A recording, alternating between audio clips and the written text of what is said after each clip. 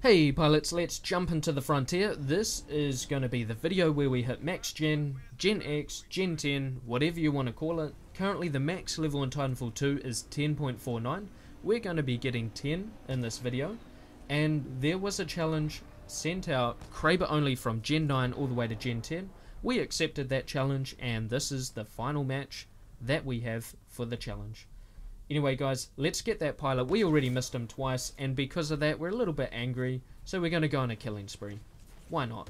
Let's teach them how to play. Let's show them the Kraber in action, sniper rifling, quick scoping, 180ing, hard scoping, 6 point tenning, all that good stuff, guys. Let's go. Hey, he stole my grunt kill. Hey.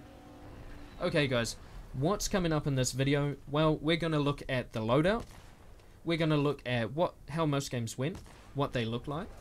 We're going to talk about the Titan because, hey, Kraber only, you can't cheat, you can't get into your Ronin and turn people into pepperoni, you can't get into your tone and cheat, you can't get into your Legion and be too tanky, you can't get into your Scorch and get last place, and you can't jump into your North Star and ask for a buff, I guess. That's all I can really think about for North Star.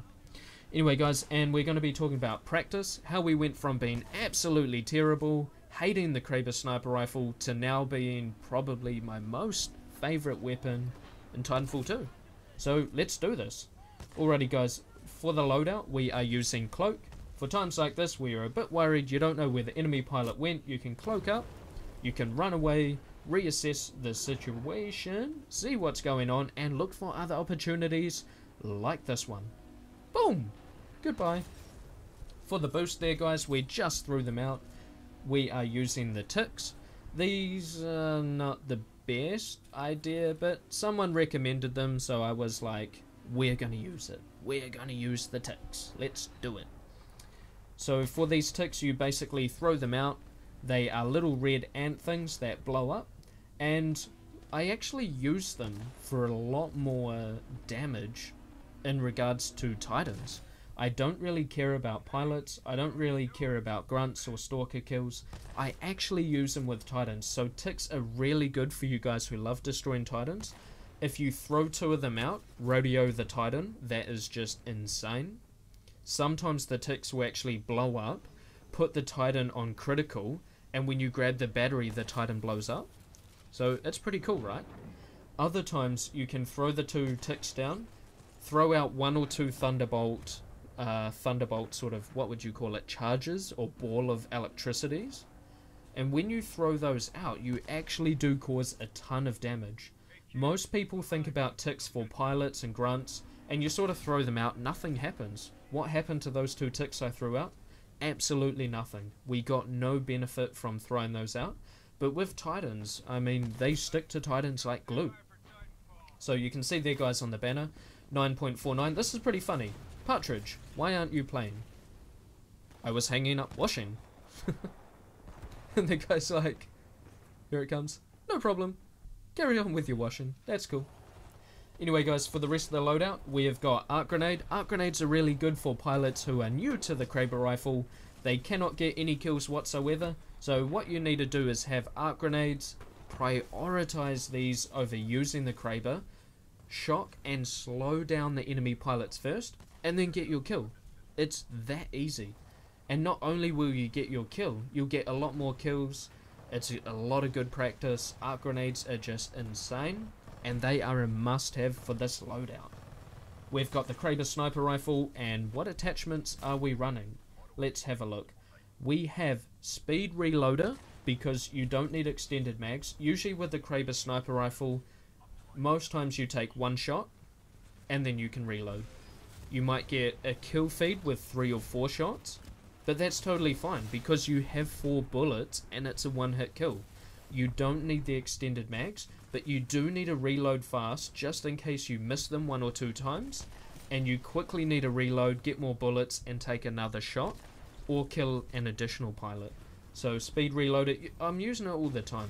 You can see it all the time you definitely need it. We also have the attachment, the fast aim, so we can aim down the sights a lot quickly, quicklier, that's a new word, a lot faster. And the reason for this Without it, I used it with uh, extended mags and speed reloader at the start. You just get absolutely no kills.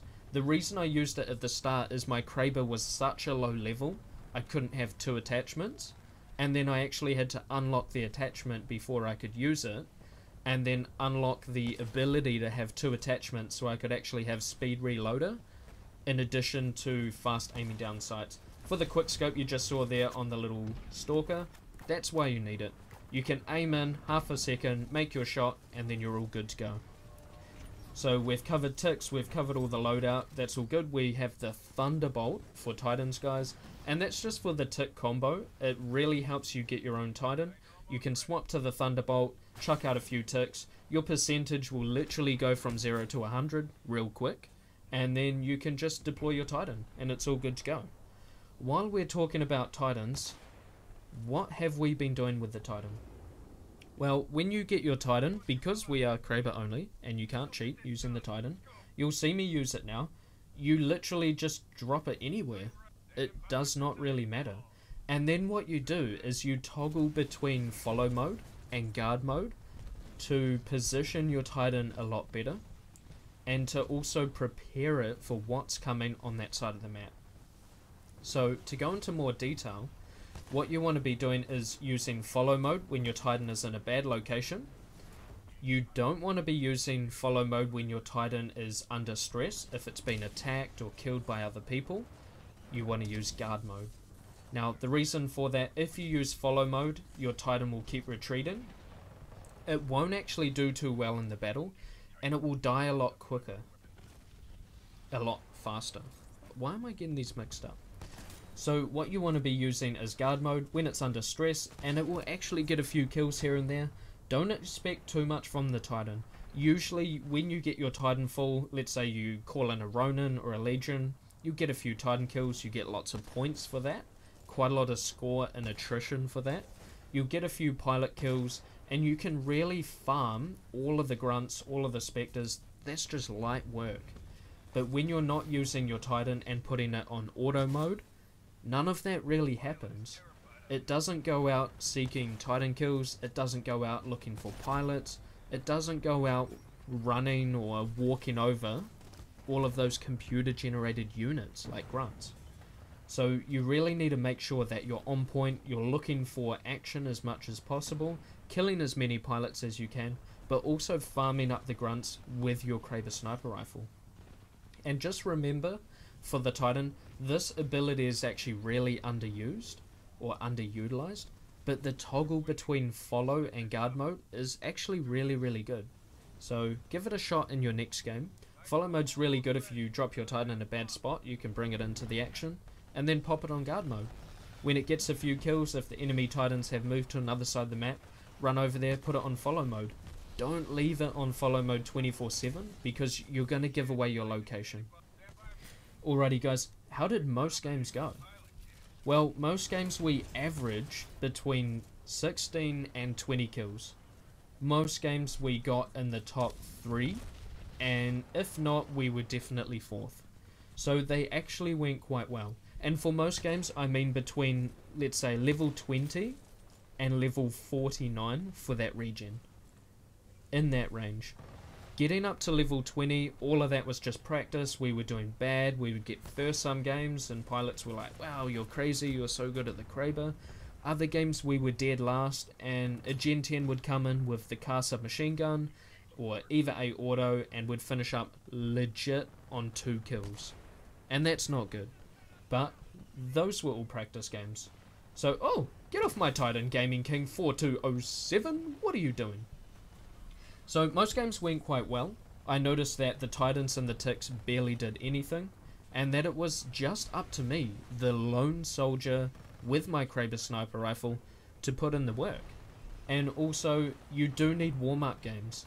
Usually the first one or two games of the day would be terrible, and then from there you're getting first place or second place really consistently. You're holding your own, the quick scope's on point, everything's going well. So for my sort of words of wisdom, if you wish, what can you do to start out with a Kraber rifle, to start out with a similar challenge using Kraber only for a whole region? What can you do? How can you get those 500 kills on your lifetime kill count? The awesome green skin, the Gen 6.11 or 12, wherever we are at. How can you get that?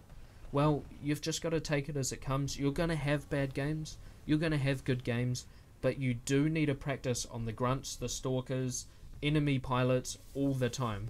As soon as you see a little grunt saying, hey, enemy titan inbound, or something like that, just kill him.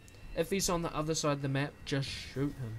You've got to, every single game, focus on how many times you're aiming down the scope, how many bullets you're shooting, it better be a lot, and how many kills, whether they're pilot kills or computer generated opponent kills, how many of those you're getting, and focus on maximizing them. You want to spend 90% of your game in the scopes, shooting, reloading, jumping around, getting kills. There we go, guys. 17 kills, 0 Titan kills, and 16 minion kills. 100 points. Not too bad. Not too bad at all. It could have been better, but we're always under pressure in these last games, guys, because we're going to regen directly after. And there we are, 6.12 on the Kraber. Ready to regen. Stop that matchmaking right now, and let's get into it. How long did it take to get here, guys? Well, 175 hours to be exact. But I'd say about 10 of those hours were the campaign, and you probably spend about 10% of your time in menus like we are now, or 10% of your time searching for matches, talking to friends, making parties, waiting between matches. So if you take off 10%, let's just say 15, well, 17 hours. So you would be looking at, oh, quick maths under pressure, probably about 150 to 160 hours, would say. Somewhere around there for most people. For really good pilots who level up and made the most of double XP weekend, probably about 140. So there is quite a large time investment. There's the OG Gen 10 patch. Oh, look at that. That is good. Head of the pack, Flames, get that equipped, and Stoic C. And we can't get Stoic Dark. Ah, silly, silly respawn. Why do you do this to us, pilots? Alrighty, guys, that is looking pretty sweet. So what we're going to be doing now is opening the Advocate gifts. So we have 32 of those. Oh, Frontier Urban. I I've said this in the last video, but I swear the rewards you get are based on what you use. So if you guys really want Kraber skins, use the Kraber all the time. Look at that, Kraber, Thunderbolt, Thunderbolt, Thunderbolt. That's literally all we've used. The game knows. Kraber camo, there we go. Pilot camo, well, obviously we're using a pilot. Kraber camo, pilot camo. Yep, it definitely knows. We didn't get a camo for either a auto, we didn't get a camo for any pistols, and that's because we didn't use them. So if you guys are really after camos for a particular gun, make sure you're using that gun and open advocate gifts after you've used that weapon. So we're going to go through here, check out some of these new skins we unlocked because you may or may not have seen them already. And we're going to have a look at the Kraber, see what cool skins we got there. And you can see the double takes Gen 11.4, but we will be getting the Kraber to Gen 10. We're going to commit to that because it is such an awesome weapon.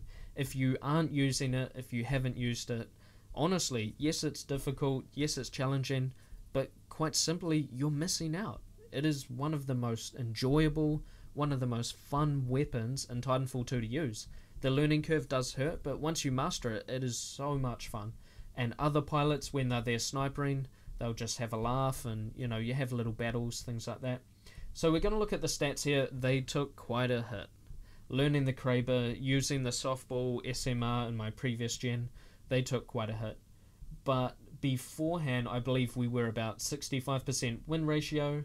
The MVP in top 3 is still pretty strong, and this is just showing you guys the duration plus a couple of stats so you can see what things look like for Gen X. And the KD ratio took a massive hit. You can see in my previous video we were about 9 or 10. Anyway guys, hope you enjoyed that video. Let me know how your own journey to Gen X, Gen 10 or Max Gen, whatever you want to call it, is going in Titanfall 2. Have a lovely day, and I'll see you in the next video. Peace.